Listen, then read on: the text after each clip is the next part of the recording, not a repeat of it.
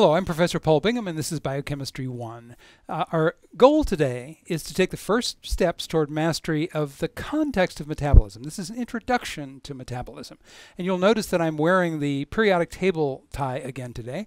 And the reason for doing that is to emphasize again the underlying simplicity of this story, the simplicity of the chemistry of what is called the metabolism of organisms. Let me first put metabolism in the larger context in which we've been operating. And then I'll come back and forecast for you a little bit about where the chemical simplicity comes from. So this is again our simple diagram of a uh, biological organism consisting of biochemically encoded design information, which has the capability to make biochemically make biochemical tools, and the purpose of those tools is to assist in the replication of that design information. That's the underlying logic of uh, organisms. This is the three generations of organisms shown on the image here. And over time, natural selection acting on genetic variation, random mutations occurring in design information, continues to refine the tools that organisms make. We've talked about uh, what some of those tools are. So remember that we call the combination of tools, which in the human case includes all of our bodies, and the design information, which includes our germline genetic design information. Collectively, we call that a vehicle. So the vehicles are the context in which all of biochemistry, and in particular all of metabolism, our concern here, is going to occur. So let's put metabolism in this context. So each of these tools uh, consists of uh, some kind of molecular machine. Uh, often it's a globular molecular machine of the sort that we've talked about extensively before now, including catalysts. And the catalysts are going to play a role in metabolism. But what catalysts are going to do here is that they're going to regulate the flow of matter and energy through an organism. Now, you may not think of an organism as something that is a the, the focus of a flow, but I'll remind you in just a moment that we absolutely are, and we essentially are. We are non-equilibrium thermodynamic systems through which matter and energy must continuously flow if we are to survive. But for now, let's zero in and make a really crucial point. This flow of matter and energy through the organism over time is collectively referred to as metabolism. And we're in this segment, we're going to put all of this in a kind of context, forecast for you the details of metabolism, and then in the next several segments, we're going to look at, uh, at particular central elements of metabolism in much more detail. Our purpose here in this segment is to get a sense of context, to get a sense of, uh, uh, of trajectory, where we're headed, where this is going to lead us. So let's look at the thermodynamic context of metabolism. Remember that the first, uh, the, the uh, second law of thermodynamics, all of thermodynamics controls the function of organisms just like it controls the function of non-biological uh, uh, events out in the real world, as we've talked about extensively before. So let's talk about animal metabolism again now, just as sort of context. So metabolism is what we do with complex, high energy reduced and reduced molecules. That is, they're chemically reduced. I'll remind you a little bit later about what that means, reduced uh, uh, compounds. And in catabolism, which is a subset of metabolism, catabolism, organisms burn these high energy uh, uh, reduced compounds down to simpler, more oxidized compounds, extracting energy as they do. And we'll see a little bit more about that now and a great deal more in the next several segments where we look at the details of the central flow of matter through metabolism. But there's another half to metabolism that is equally essential. It's called anabolism, and it refers to the use of some complex high energy molecules together with energy liberated and provided through catabolism to build other things, to build other complex high energy uh, uh, uh, molecules, including the molecules, design information, and tools, and so on, that are essential to the survival of the organism. Plant metabolism does all of these things too, but it does one of the things that animal metabolism does not do. That is, it uses external energy to, to take simple low energy oxidized molecules and reduce them back to create high energy uh, reduced molecules. The source of that energy, do you know what it is? I'm sure you all do. Pause and think for a moment. It is, in fact, the sun.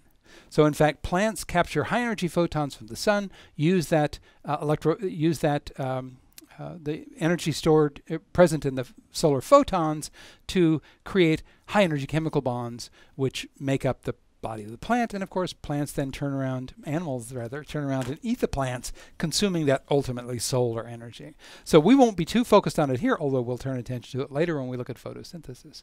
But in fact, all of the energy that's coursing through our bodies over time, the, the, over our lives, is ultimately derived from the solar photons that bombard the Earth. Again, that's not our concern here, though. Our concern for the next several segments, and this segment is going to be animal metabolism organisms that are eating high energy compounds made by plants and then doing various things with them. All right. So let's use another analogy that's useful to anticipate uh, what we're going to see when we look at metabolism. Let's analogize it with the, the organism with an internal uh, as an internal combustion engine, the sort that you see here. And one of the things it's going to do is burn gasoline, the equivalent of gasoline. Uh, that is the equivalent of catabolism. But in fact, we have to make our this analogy a little more strained in order to get the whole picture of animal metabolism.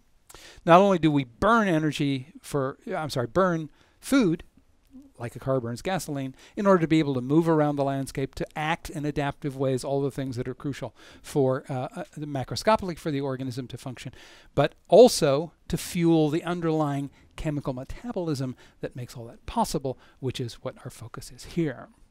But in addition, organisms are a little different than an actual automobile. They are self-repairing internal combustion engines that are not only burning fuel all the time, they're constantly putting in new replacement parts, throwing out old ones, replacing them with new ones. And they're actually going to use gasoline to build a replacement part. So again, here in our analogy starts to get a little strained, but in fact, that's essentially the two pieces of metabolism. We're going to take in fuel, and we're going to use it to to drive the energy expenditures of our everyday lives, but we're also going to use that fuel to build replacement parts and the ongoing upkeep of the adult body that we occupy.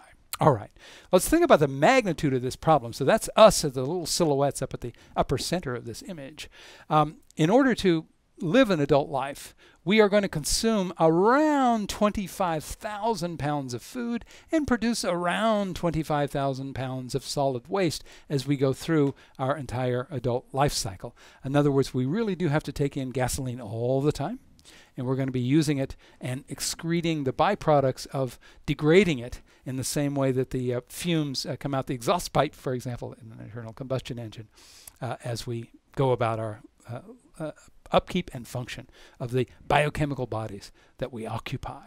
And, uh, and that is going to be our subject when we look at metabolism. What's going on as we flux all this matter through our body? How is it, how is it moving through the body? How is that motion controlled? How is energy extracted when needed? How is it deployed and for what purposes is it deployed? All right. So let's look at the detailed thermodynamics of metabolism. As I alluded to uh, a moment ago, um, metabolism uh, uh, thermodynamics rules all. That is, the, the rules of chemistry uh, dictate how the metabolism of organisms work, just like they dictate how an internal combustion engine works. Uh, nothing conceptually different. Mechanical details are different, conceptually, completely uh, analogous.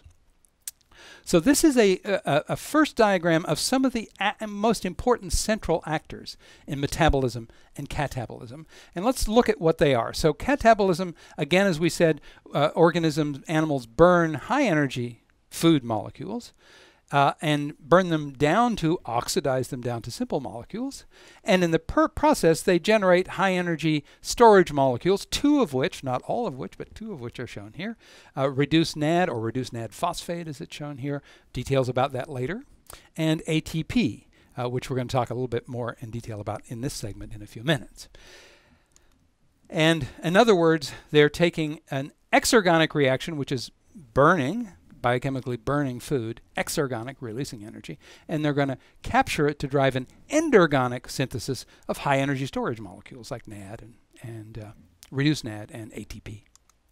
Let's now contrast that with anabolism. With anabolism, we're going to the organism is going to take the high energy currency molecules that we just talked about that are produced by catabolism so NAD, phosphate, and ATP, and they're going to burn those. They're going to use those to synthesize uh, large, new large complex molecules. In other words, they're going to take the exergonic reaction of burning the currency molecules, and they're going to drive endergonic reactions like synthesizing macromolecules. Of course, among this macromolecular synthesis includes the replication of DNA, genetic design information, the building of biochemical tools, and most importantly from our point of view here, the ongoing flux of